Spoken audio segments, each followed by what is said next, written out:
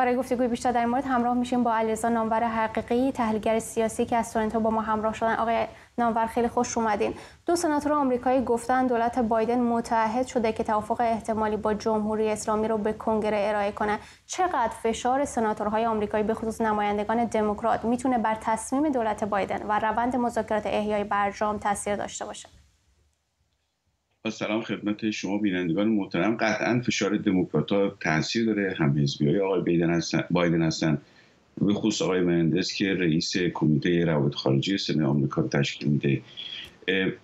با توجه به اینی که ایران نتونست از اون فرصت اولیه حضور آقای بایدن در قدرت استفاده کنه و چالش های درونی بود که قدرت ایران در بعده نخست و بعدا مذاکراتی که به حال دولت جدید تکنیک مذاکراتیش که توسط آقای باقری انجام شده بود بر اساس یه توهم بود که آقای عراقچی کم گرفته ما بیشتر می‌تونیم بگیریم.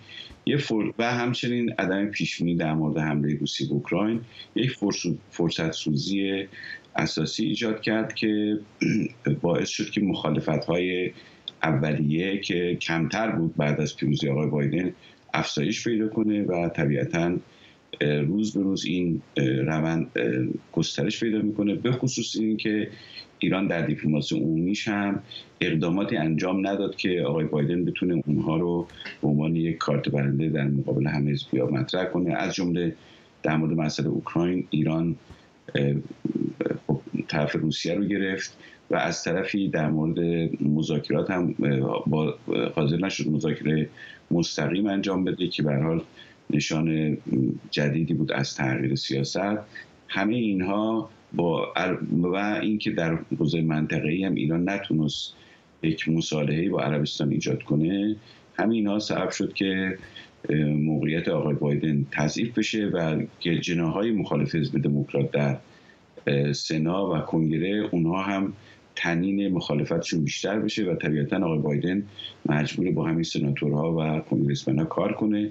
طبیعتا نظر اونها رو توجه داره به خصوص الان که انتخابات در پیش دارن و اونا نمی‌خوان مسئله انتخابات که استراتژیک است برای دولت آقای بایدن تحت تاثیر مسئله برجام قرار بگیره که ایران خب مخالفه خیلی زیادی داره در کنگره در هم در هر دو حزب خب آقای نامور رئیس موساد به آمریکا اومده و همزمان رئیس جمهوری اسرائیل در پارلمان آلمان سخنرانی کرده. تحلیل شما از این تحرک سیاسی مقام های ارشد اسرائیل چیه؟ و اینکه این تحرکات چقدر بر فرجام مذاکره احیای برجام می‌تونه تاثیر داشته باشه؟ خب ببینید اسرائیلیا به حال با توجه به چالشی که با ایران دارن همه همغمشون کردن که این توافق انجام نگیره. اونا تحلیلشون است که این توافق انجام بگیره ایران از لحاظ اقتصادی موقعیت بالا دستی پیدا می‌کنه. چون از لحاظ نزدیک شدن به اصطلاح هسته ای ایران در موقعیت ضعیفتری قرار می‌گیره. بنابراین باید اونا اگر مسئلهشون بمب هسته ای باشه با طرفدار برجام باشن. برای اونا چون فکر می‌کنن ایران موقعیت اقتصادی پیدا می‌کنه این موقعیت اقتصادی باعث میشه که به نیروهای نیابتی در فلسطین سوریه و جاهایی که خطر می‌تونه لبنان خطر برای اسرائیل ایجاد کنه کمک کنه.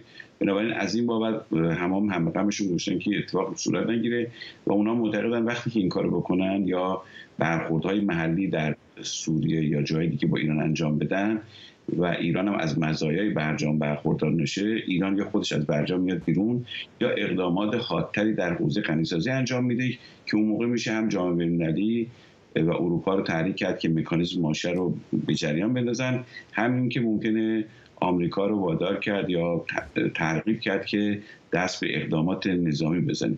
بنابراین اون مجموعه کار اسرائیل با یک بسیج بله. دیپلماتیک با یک فضاسازی اطلاعاتی در مجموع موفق شده که کارشو پیش بره در این مورد هم ایران به خاطر ضعف های مذاکراتیش دیپلماسی عمومیش و چالش هایی که وجود داره در ارتباط با مسائل منطقی و مدیریت با اسرائیل دست ضعیفتری داره و اونها خوب در این زمینه موفق عمل کردن.